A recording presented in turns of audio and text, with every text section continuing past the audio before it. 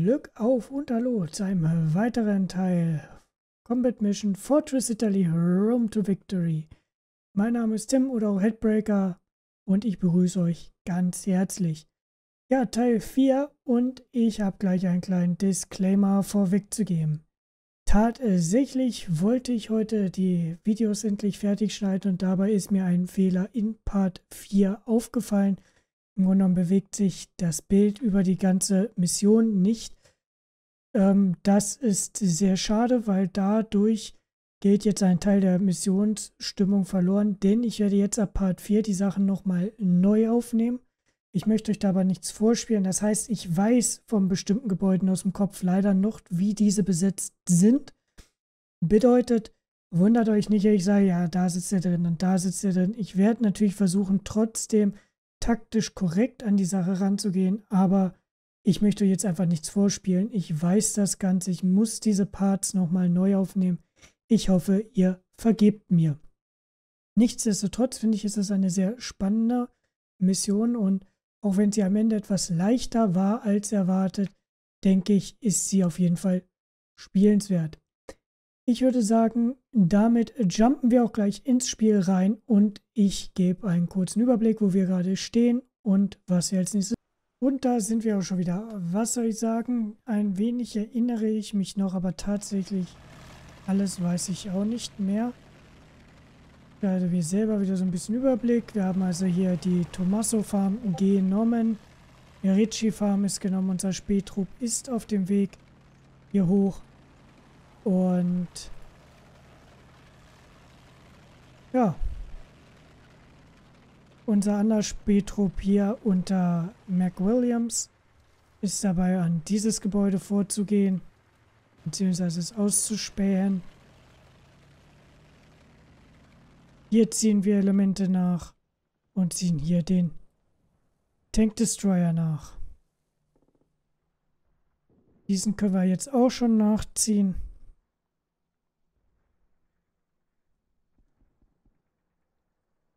Ups. Denn hier in der Ritchie Farm sind wir dran. Der hat ja hier das alles einmal abgeflammt. Und wenn ich mich nicht irre, habe ich dann hier mal einen Schuss reingesetzt und daraufhin ging hier ziemlich die Party ab. Das werden wir dieses Mal wieder tun. Und werden uns erst einmal langsam weiter vortasten. Ja, Q-Elemente, das ist hier unser Schütze, okay. Das ziehen wir nach. Ich habe also eigentlich schon die meisten Befehle in der letzten Runde gegeben. Da würde ich sagen, dann lassen wir diese Runde erst noch einmal ausspielen.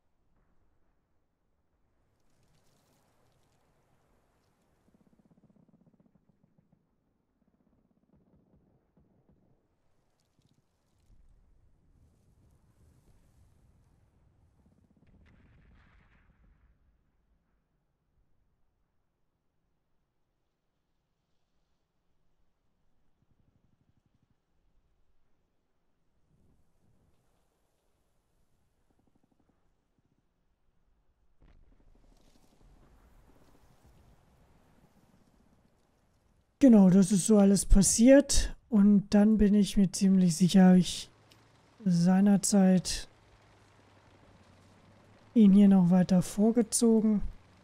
Zusammen mit dem Brands, weil die Dinger ja geräumt bzw. geklärt waren.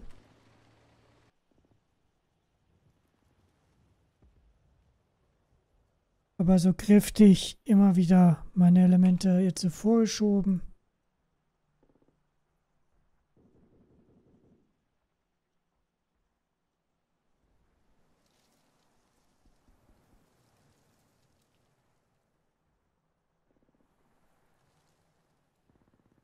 Um dann letztendlich hier einmal einfach einen Schuss ins Gebäude zu flanken.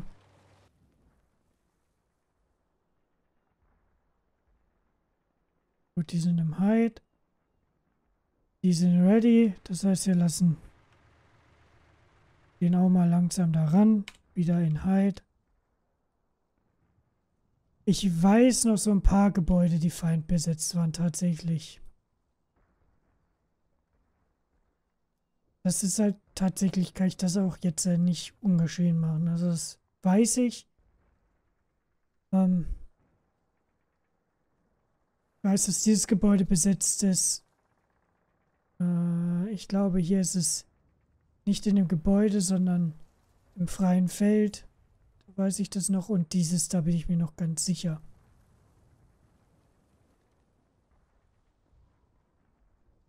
Der hat sich festgefahren. Bei dem ähm, Teil, der äh, kaputt ist, da weiß ich auf jeden Fall, da ich am Ende kein Fahrzeug durch Festfahren verloren. Aber was ich euch ähm, anbieten kann, da gerne auch das Feedback, dass ich die Teile, ähm, die jetzt quasi nach Teil 4 kommen sind, soweit ich das gesehen habe, in Ordnung. Weil ich dann halt eine neue Session angefangen hatte. Das ist tatsächlich beim letzten Teil der ersten Session kaputt gegangen die ich anbieten kann, damit man auch sieht, dass ich jetzt das wirklich schon einmal blind durchgespielt habe, ähm, dass ich die einfach auch einmal quasi als Alternative Ending oder so hochlade. Das wäre eine Möglichkeit, die ich anbieten könnte.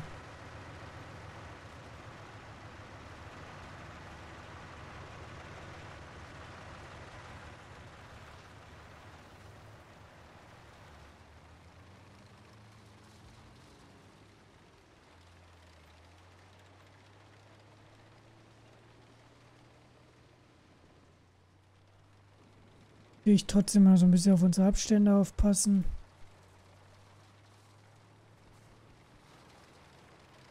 Hier mal wieder ein bisschen Ordnung. Second Section, die haben wir hier.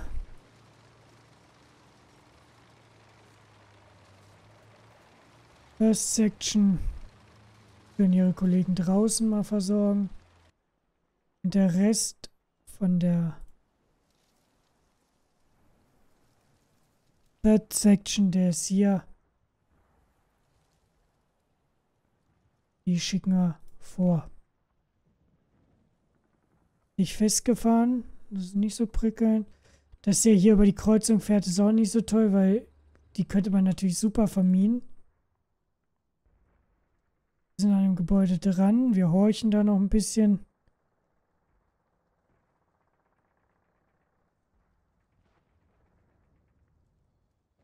Und dann würden wir sagen, wenn der da vorne ist, schießen wir da mal einfach freundlichen Gruß rein.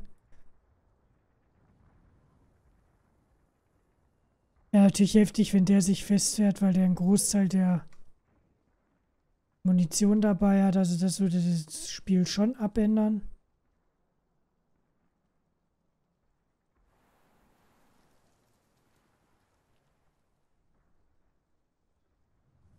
Würde mir tatsächlich auch gut wehtun.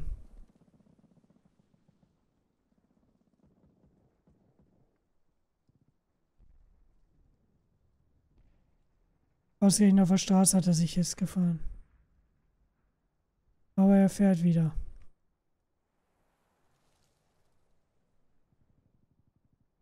Dann werde ich ihn jetzt gleich von der Straße runterziehen müssen. Also da.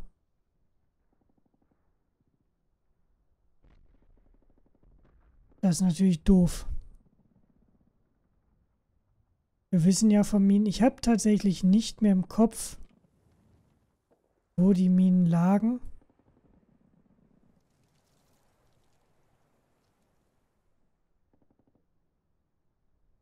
Deswegen, ich könnte euch jetzt auch nicht sagen, ganz ehrlich nicht sagen, hier die Straße ist zu weit, ich weiß es nicht. Ich kann es euch ehrlich nicht sagen.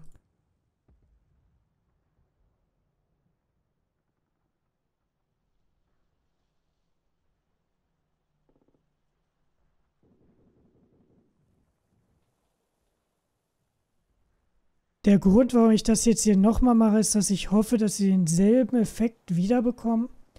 Weil wir haben da dann ziemlich ein, ziemliches Theater gehabt und haben so ein richtig schönes Zeichen, wie man mit so einem kleinen Schuss dann äh, Aufmerksamkeit generieren kann.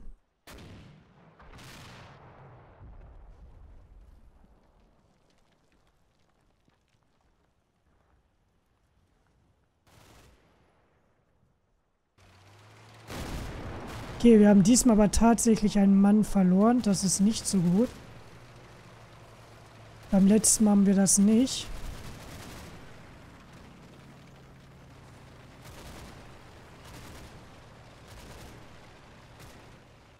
Schade, der Effekt war nicht ganz derselbe.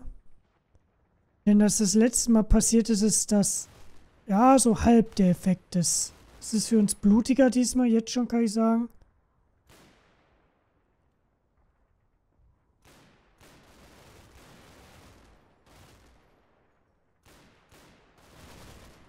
Deutlich blutiger.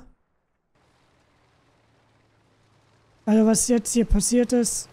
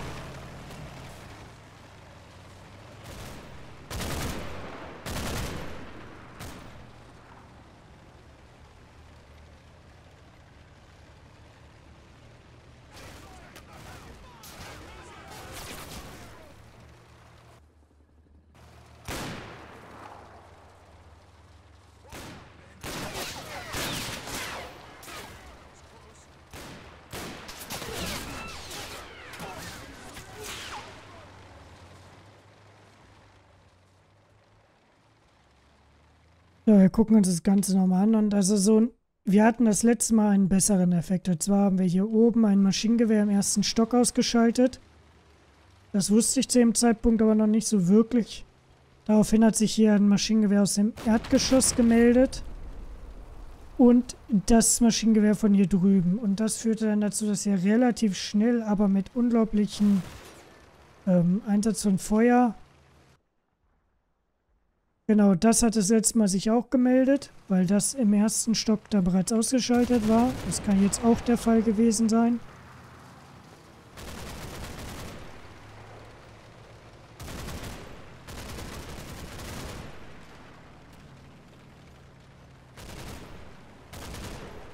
Es ist nicht ausgeschaltet, aber wir haben jetzt erstmal den Schützen erwischt. So eine ähnliche Situation hatten wir dann auch, bloß dass die instant mit hochkam und ohne hier einen Verlust zu machen von allen Brand Carriern und dem Tank Destroyer getroffen wurden.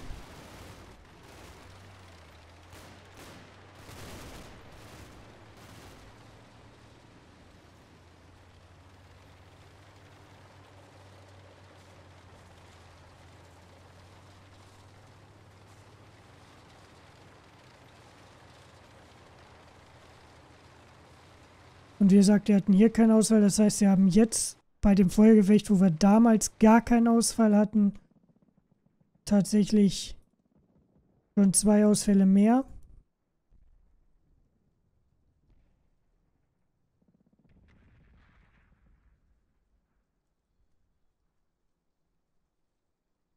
Müssen jetzt die Situation relativ schnell unter Kontrolle bringen. Wie das hier drüben aussah, weiß ich tatsächlich gar nicht mehr.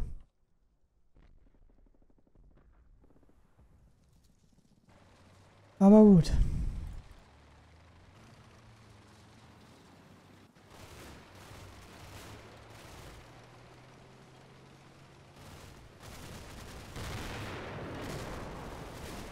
Wir haben noch einen Ausfall kassiert.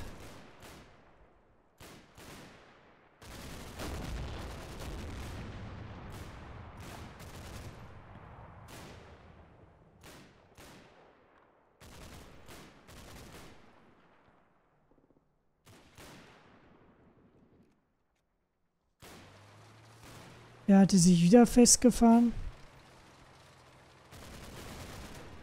Aber wir sehen, hier wurde jetzt dann doch relativ schnell noch Feuer aufgebracht. MG ist noch nicht ausgeschaltet.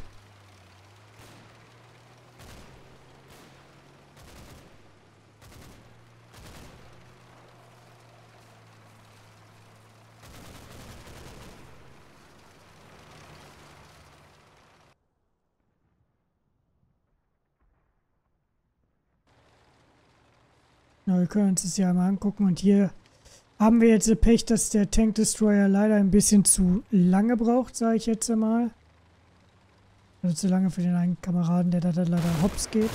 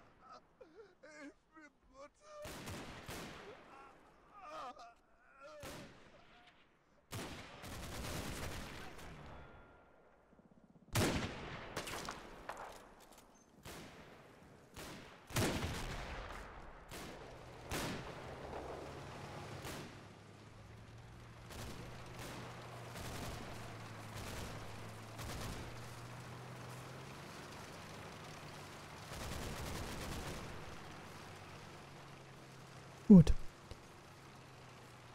Also wir sehen, wir haben jetzt hier doch gut geblutet. Ne? Also es ist nicht so ideal gelaufen wie das letzte Mal, aber so ist es nun mal im Leben.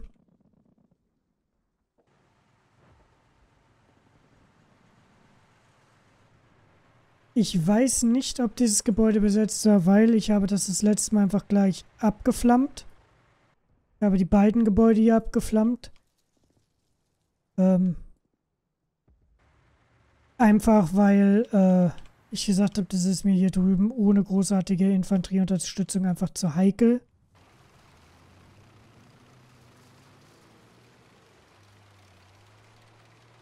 Diese hier haben sich letztes Mal deutlich länger gewehrt.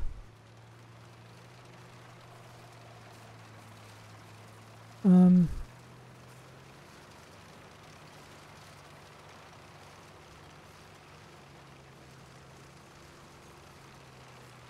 habe sie dann trotzdem sicherheitshalber abgeflammt. Eigentlich denke ich, brauche ich das hier nicht. Aber wie wir alle wissen, Vorsicht ist die Mutter der Porzellankiste und wir machen es trotzdem. Also letztes Mal war es tatsächlich so, dass die hier quasi durchgehalten haben. Bis ich da tatsächlich mit dem Flammenfahrzeug rangekommen bin. Dann war es natürlich um die Deutschen in dem Gebäude geschehen. Da flanken wir zwei bis dreimal rein. Wir müssen die jetzt hier entlasten. Second Section zieht auf. First Section zieht auf. Können von hier hinten eh kaum unterstützen. Und wir bringen das HQ ran, um Moral zu supporten. Und bringen vor allem auch unsere Mörser ran.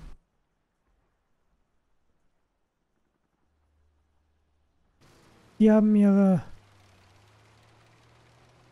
ihre Verwundeten aufgenommen.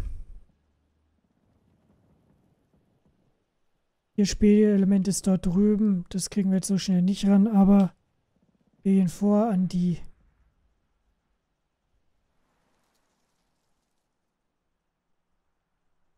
an den Wall und ziehen alle Elemente nach werden da noch einen freundlichen Gruß reinschicken und dann mit der Infanterie vor. Allerdings mit einigen, die nicht so geschockt sind. Das ist nicht wahr. Ja, schön noch ein Treffer von denen kassiert, weil die hier wirklich noch nicht platt sind.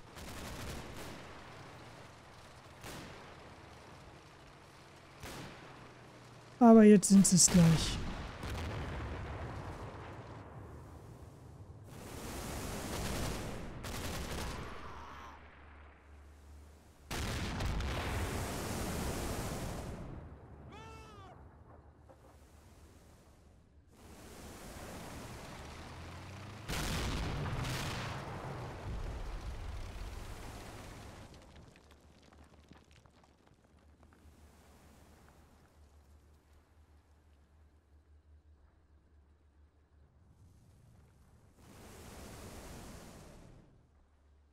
War ein bisschen zu weit. Pause hier verlängern wir nochmal. Verlängern auch das Feuern darauf. Und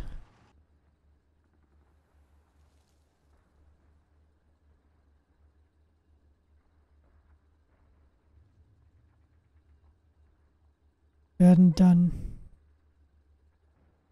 dieses Gebäude noch einmal.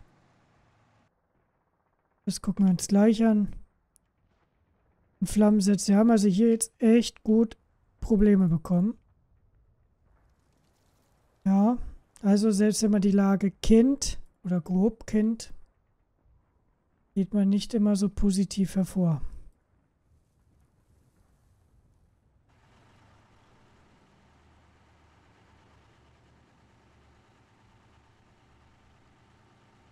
Wir hören nichts und ich hab's.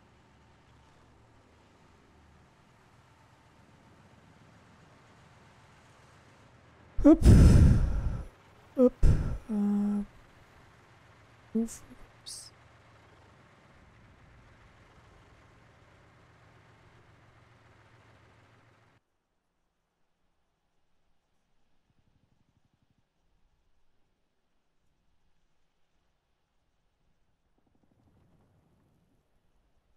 Nächstes werde ich mal einen freundlichen Gruß in dieses und dieses Gebäude reinschicken, aber erst wenn die in Position sind und ich da drüben entlastet habe, also so in ein oder zwei Zügen.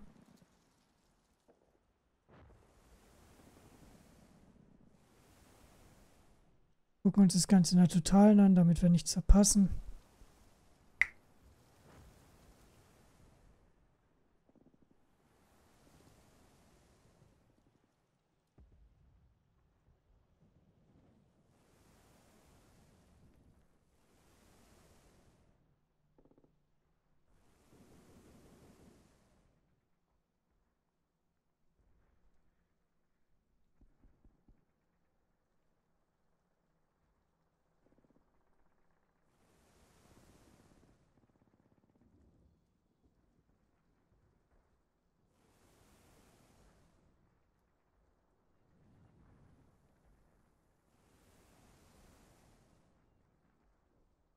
Äh, das ist witzig.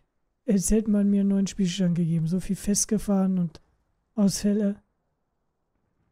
Naja.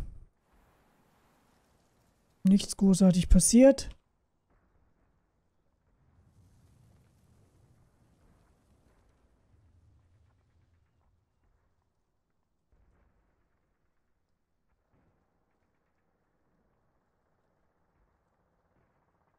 Und dann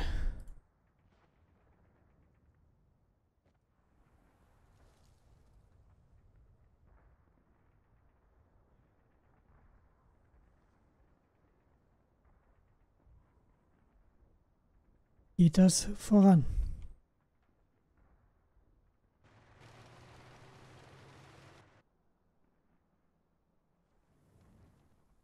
Die kümmern sich um ihre Ausfälle. Die sind dabei. Geben wir dem noch einmal die Flammenmöglichkeit und dann sind die, die zuerst auf diesen vorgehen. Wohl, die können schon dahin per Sturm. Die sind ja gedeckt. Akkuelement zieht nach. Mörser zieht nach.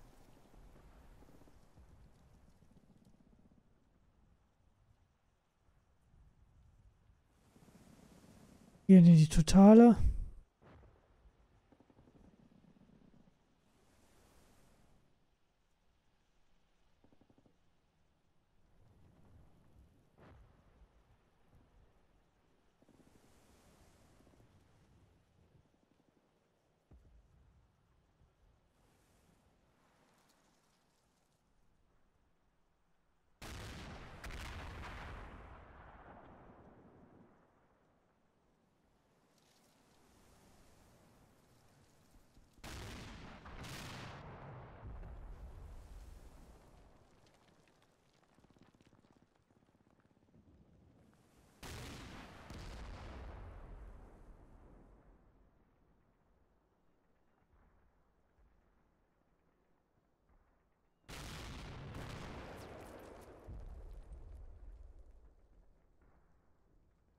Okidoki. Nichts so Spannendes passiert. Hier haben wir gut abgefackelt. Ich denke, den ziehen wir zurück. Oder lassen wir zurückfallen. Sind nervös, sie sind vorsichtig, die sind okay.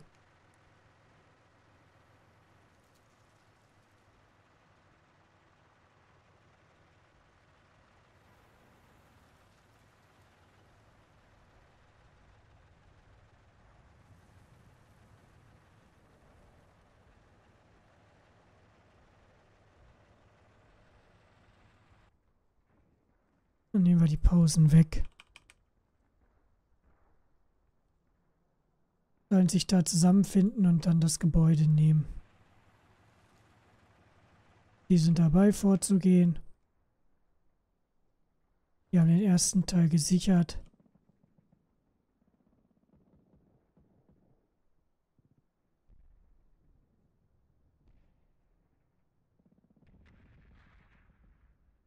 Dann fahren wir auf diesen Bereich zu.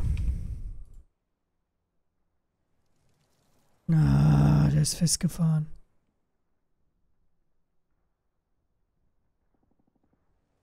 Ärgerlich.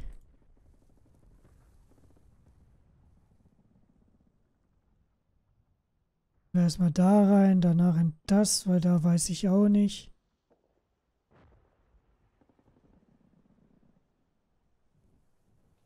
Diesmal habe ich das RNG nicht so positiv für mich. Was soll's. Als nächstes sind denen mal freundlich.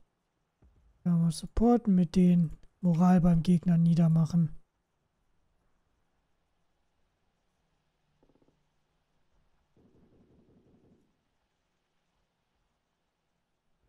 Können diesmal ja anders vorgehen. Beim letzten Mal habe ich hier quasi einen Haken geschlagen und bin von hier oben dann hier runter. Will ja diesmal ganz brachial von hier darüber und dann hier zusammen rüber gehen.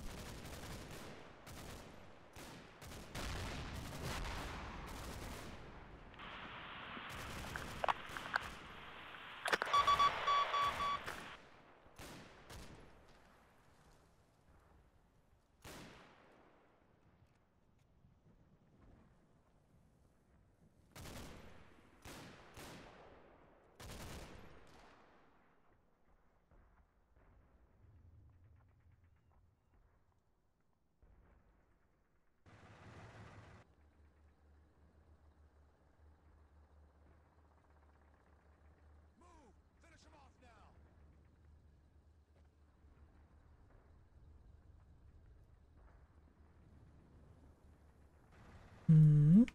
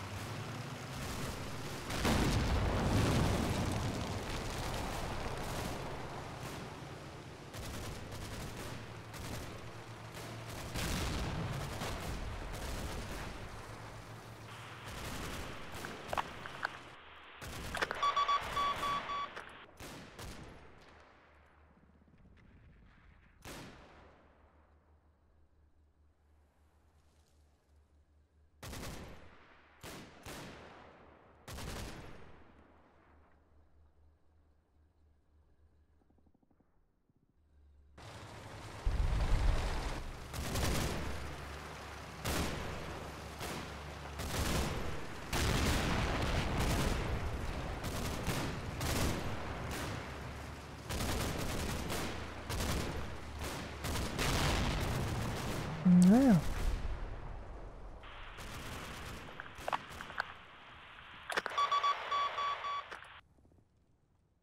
Aber gut, mit äh, diesem Zug übergebe ich euch jetzt auch all mein Ich an der, in der Endcard. Ich hoffe, ihr hattet so viel Spaß wie ich. Es tut mir nochmal, wie gesagt, leid mit dem Fehler. Ich habe echt zu lange keine Videos mehr aufgenommen, sonst ist mir sowas wahrscheinlich aufgefallen. Trotzdem hoffe ich, seid ihr das nächste Mal wieder mit dabei. Und wie gesagt, jetzt ab zur Endcard. Ich wünsche euch was.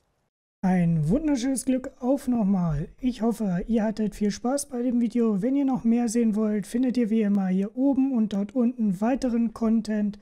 Ansonsten würde ich mich sehr freuen, wenn ihr mir einen Like da lasst, den Kanal abonniert und wenn ihr dann auch immer informiert sein wollt, wenn neue Videos kommen, dann klickt die Glocke. Ansonsten wünsche ich euch noch einen wunderschönen Tag, viel Spaß mit Combat Mission und anderen Wargames. Bis denn dann, bleibt gesund. Ich wünsche euch was.